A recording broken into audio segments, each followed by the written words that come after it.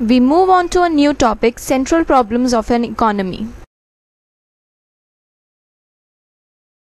The basic central problems are as follows. First is what to produce. This implies whether to produce consumer goods or capital goods. Consumer goods are those which are directly consumed by individuals to add to their satisfaction level, whereas capital goods are those which create satisfaction, that is, they help in the production of consumer goods. Next is how to produce. This states the mode of production either to produce using more labor, that is, labor intensive technology, or more capital, that is, capital intensive technology. Third is for whom to produce.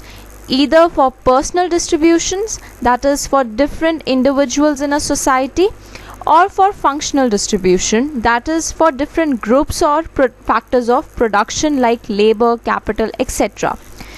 Finally, we have the problem of growth of resources. Every economy strives for growing in the dynamic world.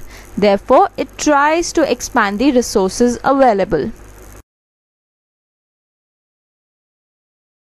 So when we have discussed these central problems considering the production aspect, it's important we learn about the production possibility curve.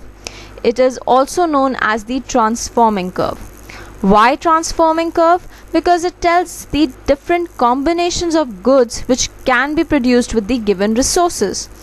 However, there are certain assumptions while formulating the production possibility curve which are First, resources are fully and efficiently utilized, and second, the technique of production remains constant.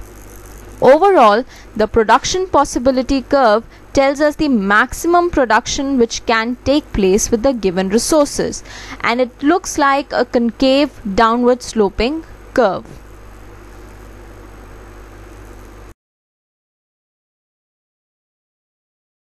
A production possibility curve can shift too.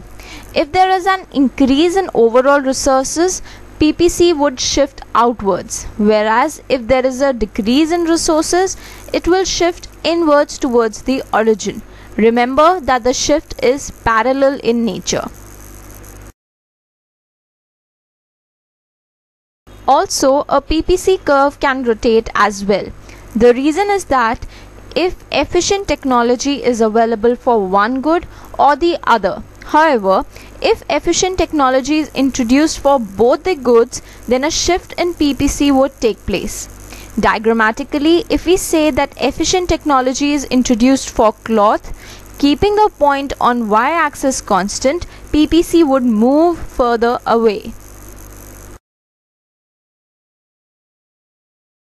So overall the properties of PPC curve are it is a downward sloping curve and it is concave to the origin.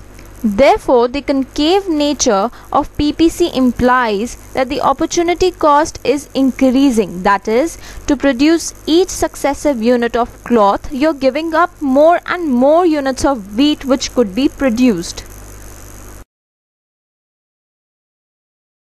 However, we have a case of decreasing opportunity cost as well, in which PPC is convex to the origin, and constant opportunity cost curve, where PPC is a downward sloping linear line. This was a brief explanation for the concept of central problems of an economy. If you have any questions, feel free to contact us. You may visit our website www.economicsharbour.com or email us at admin at the rate economicsharbour.com. Thank you and take care.